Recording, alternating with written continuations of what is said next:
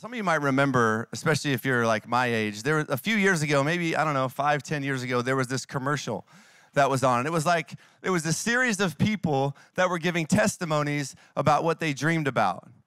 And their testimonies were, I w- I, I'm dreaming about being a drug addict. I'm dreaming about being a criminal. I'm dreaming about being, you know, this person. I'm dreaming about being a failure. I'm dreaming about being a loser. And they had all of these different people, and then it stopped and it said, No one ever dreams about that. No one ever dreams about that, and it was about helping helping people in some sort of way. I don't even remember why, but but isn't it true that when you were a kid, you had this unfiltered vision of a future that was limitless? It's like you could do anything when you were a kid. I remember thinking when I was a kid that I was going to be in the big leagues. I was going to play professional baseball, and there was nothing that can stop me. I remember getting in my living room with my wiffle bat and I remember watching games, no one else was in the house, and I'm watching games and I'm in my living room and I'm trying to time the pitch. I'm trying to time the pitch of the, of the game I'm watching, and I'm swinging at strikes or I'm taking if it's a ball. And I'm thinking, man, I'm gonna make it to the big leagues, like easy, no problem. Zero limitations on me. I remember running around when I was a kid and I would put on a cape, which was actually a towel that was safety pinned around my neck and I would get on the couch and I would jump off the couch because I could fly. And then I would run down the street, and I swear if there was a bad guy, I would have just. I felt like I could beat people up. I felt like I could take down the bad guys, that nothing was impossible. I remember talking to my boys who were right here when they were younger. And I remember saying, like, trying to train them, like, hey, what would you do if someone came up to you and they tried to grab you and take you, like in a crowd? And they'd be like, Dad, I would punch him in the you know what? And the cash and prizes, the family jewels, or whatever they called it. And I would be, no, you're supposed to say stranger danger and scream and spaz out, but they thought they could do it. They thought they could take them out. They had dreams that were un, unfiltered. If you're a young lady, you might have dreamed about like winning a pageant, like my wife did. I'm not sure if she dreamed about it, but she won a pageant. Now everybody knows. You're so beautiful, babe. Why wouldn't you win a pat? I'd vote for you. Or maybe you, maybe you, as a girl, you like soccer and you, you dream of winning a, a World Cup, or, or maybe you would just dream of, of having a marriage that was romantic and forever. I know my daughter is seven, and I asked her just yesterday what she wanted to be. She said, I'm gonna be an artist. And I fully believe it, and she fully believes that she can be an artist and that nothing can stop her because she has a desire and she loves to do art. But something happens, huh, when we start to grow up. And we start to experience maybe some losses. We start to realize that where we came from might not match where we wanna go. That the world around us begins to beat us up a bit with negativity, thinking, I can't believe you're believing for that. You? No one in our family's ever even gone to college, and you're believing for that? And we start to see some failures. Maybe we get cut from a team, or maybe our own parents get a divorce, or maybe we see our friends, families falling apart, and all of a sudden the dreams that we thought were inevitable to become true become impossible. And so discouragement sets in. And discouragement comes with limits. We start to compare our future vision with our current or past experience. And now our future shrinks to who we think we are based on what we see and have experienced, not who God says we are. And then we beat our own selves up for making mistakes. And we get more and more discouraged. And just because a mistake may have caused you pain or delay, that doesn't mean it was a big sin or that you should condemn yourself. But the devil tries to take make a mistake and compare it to a sin and make you feel bad and put shame and guilt on you. But every mistake is not a sin. And every sin is not a mistake. Unfortunately, you don't want to live there. But Jesus, this might sound crazy, Jesus wasn't perfect because he never made a mistake. Jesus was perfect because he never sinned. But the devil tries to confuse mistakes and sins. And so now we are repenting for a mistake when what we should be doing is asking God for wisdom to make better choices in the future. And I'm not even saying that Jesus ever made a mistake. I don't know. I mean, he was a carpenter. Maybe he put a nail in the wrong place one time. I'm not sure. Maybe he went five for five every time he played a baseball game in high school. I don't know about you, but uh, whenever I get the IKEA like uh, drawers or cabinets or something, I'll put the whole thing together, and then there's the one side that's supposed to be shiny on the outside, not matted. So now I got to take the whole thing apart, put it back so the outside is shiny. I'm not sure if Jesus ever did that. Maybe he was, maybe he never made any mistakes. Maybe he never made any mistakes, but I'm not trying to I'm not trying to decrease his divinity. I'm trying to increase your validity. I think we I think we sometimes we're, we're beating ourselves up for making a mistake when we had a pure motive and a pure heart, and we're condemning ourselves and letting the devil come in and discourage us when actually God's up in heaven cheering you on, saying, At least you went for it. At least you tried. It's all good if you make a mistake. Don't let the devil put shame and guilt on you for something that's not even a sin. But discouragement just keeps coming and coming and coming. And so I think we sometimes we can confuse mistakes and, and sin. And I think we can also confuse disqualification with unqualification. Pastor Jurgen talked about this at our emerge night. The devil wants to disqualify you, but God wants to unqualify you. If you are disqualified, you're out of the game. But if you're unqualified, you're actually in a perfect position to win the game. Unqualification is just a spirit of humility, it's a posture of humility. So you don't have to disqualify yourself. You can just understand that you might be unqualified, and that's okay. In Little League, my boys play Little League, and Little League is crazy. If you have a kid that played Little League, parents are nuts, right? My kids at seven and eight years old, we were in a game and there was almost a, a stands clearing brawl, not a bench clearing brawl, a stands clearing brawl because the umpire kept making mistakes. I was okay with it because they were mistakes in my favor, in our team's favor. But these guys almost came unglued. But, it, but, but Little League is serious business. It's serious business. And there's something called All Stars that's even more crazy. It's very strict there's all these rules because it's international and they want to make sure that everybody's playing on the same playing field and all this kind of stuff. So you can play the whole season, you can earn yourself on the all star team, but you're still unqualified to play until they see your birth certificate. Because your birth certificate tells you how old you are, where you're from, and all that kind of stuff. And it basically confirms the fact that you can play on the all star team. So you can make the team and still be unqualified until you get your birth certificate and that qualifies you to be able to play in All Stars.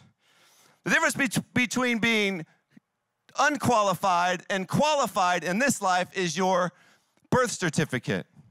When you get born in this life, you get a birth certificate. It tells you who you are, where you were, you know, like how old you are, what your name is, all that kind of stuff. Well, when you get born again, into the family of God, you get a birth certificate, and his name is the Holy Spirit, and he comes to live on the inside of you, and you go from being unqualified to qualified to do the things that God has called you to do. He is your receipt that says you are now qualified to play this game we call life.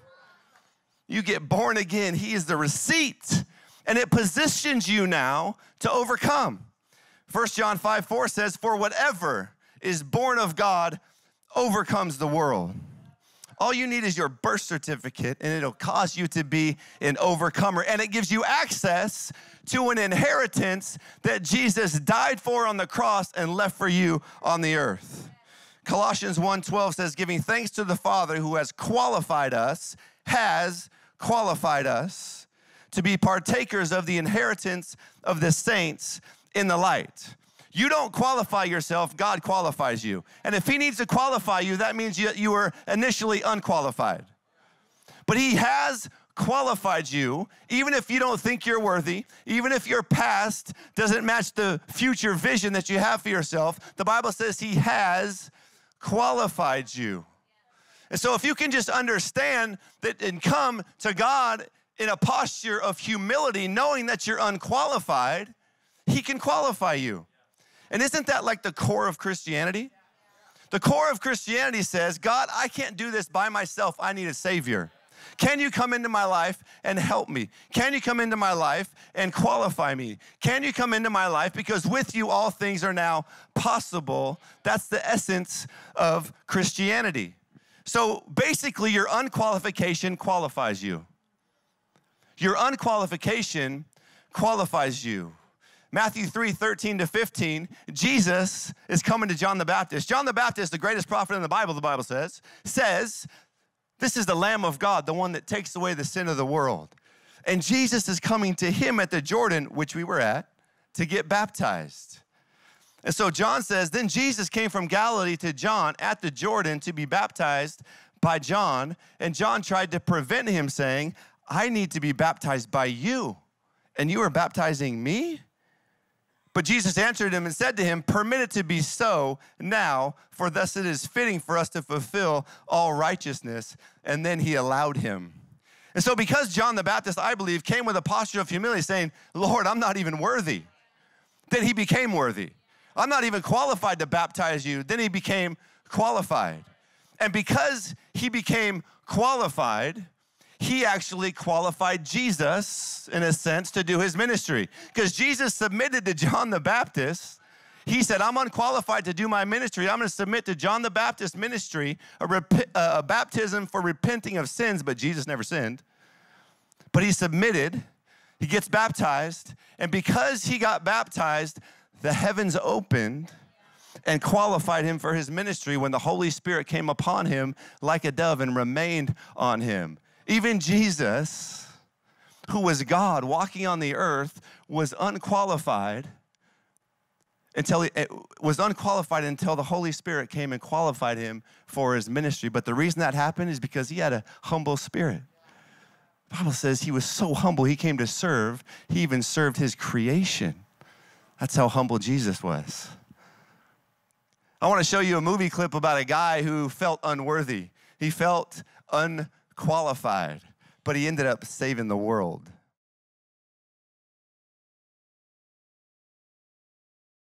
The title of my message tonight is The Surface and the Sea.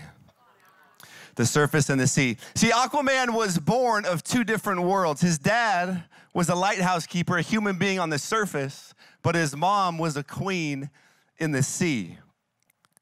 In the, in the movie, the, the underworld or the sea is launching a war against the surface. And because Aquaman was born of both worlds, he was a little bit conflicted. He was raised on the surface, but he had the power of the sea. And he wasn't connected to any of them, so he felt unfit. He felt unworthy. He didn't think he could lead. He didn't think he could do what God called him to do or what his mom said he was going to do, and that was to unite these two worlds. He was the only one that can do it. He was so unique in how he was made. His mom said, Because of you are of these two worlds, your destiny was to unite the two worlds. She was prophesying over him as a little kid. And she wanted him to embrace his uniqueness, but he wanted to reject it. He wanted to hide it. He thought he was a, an outcast. He didn't fit in. He thought he was some kind of weird hybrid. And so he kept rejecting his call. But thank God Aquaman had Mera, played by Amber Heard. She said, You think you're unworthy to lead because you're of two different worlds, but that is exactly why you are worthy. So the very thing that unqualified him, he thought actually qualified him. It was being of both worlds that made him unique to save the world. And I don't know your specific purpose in this life, but I do know this that you are called to operate in two different worlds. You are called to unite two different worlds the surface and the sea, or the natural and the supernatural. That is how you were created. And the greatest way to overcome discouragement, fear, depression is to embrace the power of the sea or to embrace the power of the spirit and embrace your destiny that God has called you to. I know you grew up on the surface, but I'm telling you, unless you get comfortable with the sea, you're not going to be able to overcome. You're not going to be able to do what God has called you to do. And it wasn't until Aquaman accepted himself for who he was and embraced the sea that he positioned himself to change the world. In the beginning, God made Adam and Eve. But before he made Adam and Eve, he made the whole world. He made the heavens and the earth. He made the moon, the sun, the stars. He made the sky. He made the sea. He put fish in the sea. He made the land. He put beasts on the land. He made creeping things. And every day he said it was good. But it wasn't until he made man that he said it was very good. You and I are God's highest creation. And so before man was created, every creeping thing, animal or fish, they only had a voice in one world. They only had a voice in one world, in one realm. They only had influence in one realm. Even angels who were created before man, before, before the earth, before the heavens, they only had influence and a voice in one world, the spirit world. And they can't influence the physical world unless we give them access to. And so there, before man, it was the, the angels and the demons who had a voice in the spirit, and it was the, the beasts and the, uh, and the fish and the, and, the, and the birds that had a voice or had the ability to operate on the earth. But when man was created, he was created uniquely. He had the ability to tend and to keep, to eat food, to pet the animals. He had the ability to operate in the natural, but communicate with the spiritual. He had the ability to commune and relate to heaven, a spiritual thing, but he was given dominion over the earth, a natural thing. But the only reason he had dominion over the natural thing was because he could operate in the spiritual thing. Because it was a spiritual thing that created the natural thing, and the creator always have dominion and authority over his creation. And so you and I are, op- are, are, called to operate in these two different worlds. Psalm 8, verse 5 says, Yet you made human beings, man, you made them only a little lower than God and crowned them with glory and honor, and you gave them charge over everything that you made, putting all things under their authority. And so God created the world and then put you in charge of it. You and I are called to operate in both of these worlds. You're the only one with the ability to do this. It's crazy. We're called to live in reality but walk by faith. We're called to be in the world, but not of the world. The stuff that we do on earth affects heaven. When you bring your tithe, heaven opens up. When you pray for somebody, the power of heaven follows you up. Heaven and earth, heaven and earth united in, in, in, in us and through us. But then the devil tried to mess everything up. God made everything, put you in charge of it, and then the devil tried to sneak in, make Adam and Eve sin and take away the authority on the earth, which he did for a season, but thank God he had a redemption plan. And his redemption plan was to reunite heaven and earth, the surface and the sea. And he did it by sending heaven to earth in the form of Jesus Christ. And then Jesus teaches us how to unite these two worlds. I've shared this revelation before, but you didn't know I got it from Aquaman. Jesus t- teaches us how to unite these two worlds. He says, Whatever you bind on earth is bound in heaven, whatever you loose on earth is loosed in heaven. He said, Pray thy kingdom come, thy will be done on earth as it is in heaven. In other words, he wants you and I to unite earth to heaven. Because you can unite earth to a different world, the evil world. You have a choice. But you and I are called to operate in this life and in that one. And so, if something on the earth doesn't line up with heaven, you're called to bring heaven to earth. And so, if you're called to bring heaven to earth and recognize those things which aren't of heaven, then you have to know what heaven is like. And we've talked about this. Heaven, there's no sickness, there's no disease, there's no lack, there's no sadness, there's no discouragement, there's no limits. And so, if you see something on earth that's not like that, because as it is in heaven, it should be on earth then you unite those two worlds. It's also important to know who, how, who God is. Because the Bible says in 1 John 4 17, as he is, so are you in this life. So it's important to know as it is in heaven and as he is in heaven, so you can unite these two worlds to match heaven. It's also, it's also important uh, to know that you have the ability to operate in the surface and the sea, or the natural and the supernatural, But you're not just an average person in both of those worlds. You're actually at the top of the food chain in both of those worlds. The Bible calls us a royal priesthood. It calls us kings and priests. It says he is the king of kings and the lord of lords. So not only are you able to operate in two different worlds, you're at the top of the food chain in both worlds. A king has ultimate dominion and authority on the earth, and a priest has ultimate dominion in the spirit. So, what does that mean? That means there ain't no devil above your level. And that means that you are called to have dominion over the earth and subdue the earth. You are at the very top of the food chain in both worlds. In both worlds. But just because you're at the very top of the food chain, just because you've been given authority over the spirit realm and on the earth, doesn't mean that you're gonna rule and reign in this life. You gotta step into it. You gotta believe it. You gotta step out in faith. Thank God that uh, Aquaman had Mera. She's kind of like the Holy Ghost in that movie. And she says, The only way to stop this war is for you to take your rightful place as king. So, unless we take our rightful place as king, we're gonna lose the battle. We're gonna lose the war. If we don't realize who we are and who God has made us and what He's given to us, and we keep disqualifying ourselves or thinking that we're still unqualified to do what He's called us to do, we're gonna lose. And then Aquaman says, Trust me, I am no king. What I like about that is he didn't disqualify himself. Disqualifying yourself means, no, I, am not gonna do it. He just said, I'm no king. He didn't say, I'm not gonna do it. He just unqualified himself.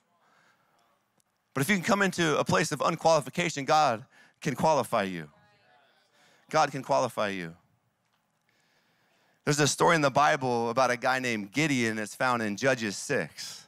I love this story. Gideon, uh, the, the, the Israelites are being attacked by the Midianites and they're coming in and they're, they're, they're stealing from them, they're, they're taking their harvest. And so Gideon goes into a wine press and he starts threshing wheat. He's in this little space and he's threshing wheat because he's scared, he's discouraged, and he's reduced his life to a wine press because he can no longer see a future for himself.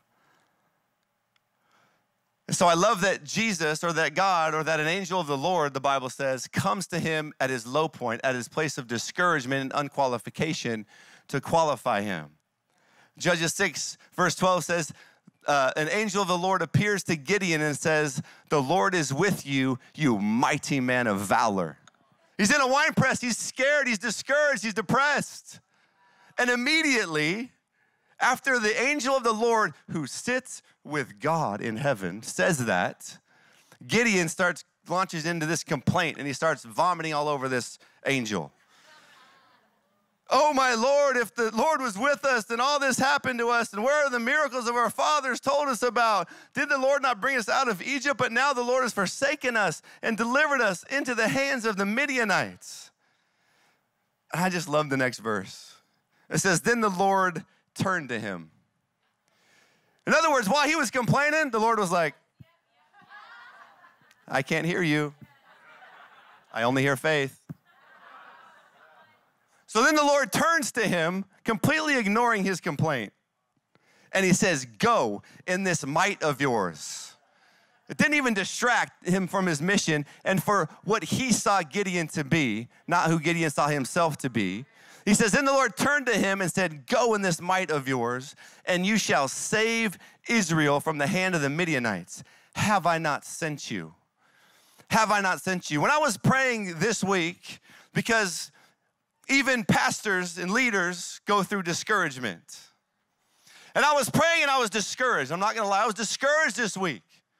And I was like, God, I need a word from heaven to keep me going, to get me through this discouragement. I was starting to unqualify and disqualify myself. And this is what I heard God say He said, Trust the call. Have I not sent you, Gideon? I know you're in a wine press. I know there's stuff happening. I know there's people ravaging all of your goods, but have I not sent you? Trust the call, Gideon. I'm with you, even in the wine press. I'm with you. So he said to the angel of the Lord, Oh, my Lord, how can I save Israel? Indeed, my clan is the weakest in Manasseh, and I am the least in my father's house. So again, Gideon doesn't disqualify himself, he just unqualifies himself.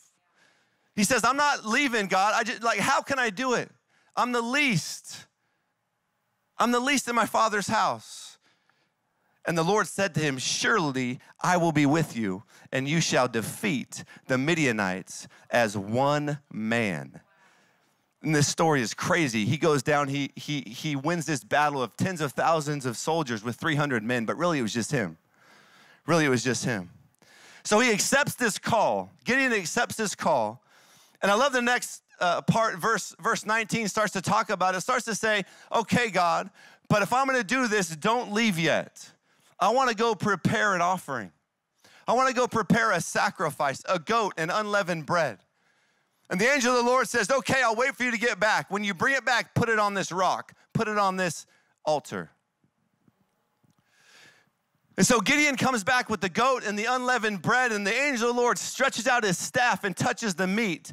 And immediately the fire falls on the sacrifice. The fire falls on the offering and consumes it. It's interesting that the fire doesn't fall on the altar, but it falls on the sacrifice. I think sometimes we use the altar as a crutch and we come to the altar and we have an encounter with God, which is which happens. We encounter God on the altar, but then we go back to living the same life that we lived. And then we come back to the altar and we say, God, it's still happening. I'm still addicted. I'm still looking at those pictures. I'm still behaving badly. And we come back to the altar and, and we're wanting a magic pill, and then we encounter God again. But remember, it's two worlds that we operate in. We got to operate in this world. We can we can encounter God, but the fire isn't going to fall until you sacrifice something. Maybe you got to bring an offering. Maybe you got to do a fast. Maybe you got to do a pray. Uh, uh, maybe you got to pray. Maybe you got to stop behaving the way you're behaving. Maybe you got to change your language. If you want the fire to fall, you got to make a sacrifice. Maybe you got to bring an offering. Maybe it's money. You're wondering why you're stuck and you keep encountering God, it's because you haven't made a sacrifice. He makes a sacrifice, and then verse 34 says, Then the Spirit of the Lord came upon Gideon and enabled him to win this impossible battle. I love it. Have I not sent you? Trust in the call make a sacrifice and watch the fire and the Spirit of God come on you to empower you to do what you were called to do. That's what Aquaman did. Check out this final scene.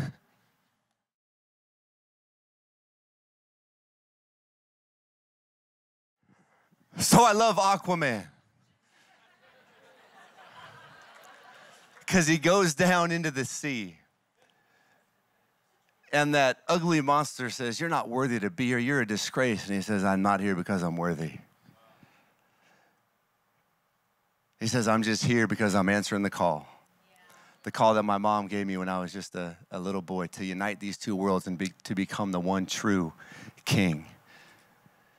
And he doesn't just look to himself, but he lets the gods of the sea determine if he is worthy. So he grabs the trident, which is the power of the sea. And it releases for the very first time because I believe he came in with a, with a spirit of unqualification. And he let the gods determine his qualification. So then he takes that, that trident and he becomes the one true king. And what I didn't show you is that the after after that scene, he goes up to the surface and he fights his brother, King Orm, who was the king that was bringing the war against the surface. And he fights him on top of a ship. And he comes to the end and he has his trident and he's about to slam it through his throat. And then he stops and he shows him mercy. And his brother, who is on his knee, says, Don't show me mercy. That's not how we do things. And he says, I'm not one of you. I'm going to show you mercy. And so he leaves and he unites those two worlds and he saves the world. But it was only because he finally embraced his call. He became he came with a spirit of unqualification and humility, but then he embraced the power of the sea. You and I will only complete our call if we understand the power of the Holy Spirit and the dominion that we've been given on this earth. Just like Aquaman was called to change his world, we're called to change our world. And until we realize that we are unique and that we can operate in both of these worlds and unite these two worlds, we're never going to complete what God calls us to complete. Thank you for tuning in, church. We hope this message reached your heart and was one in season for you. We're eager to hear how God is moving in your world. If you have a praise report or prayer request, send us an email at online at c3sandiego.com to share. Also, to partner with us financially so we can reach people all over the world, go to c3give.com.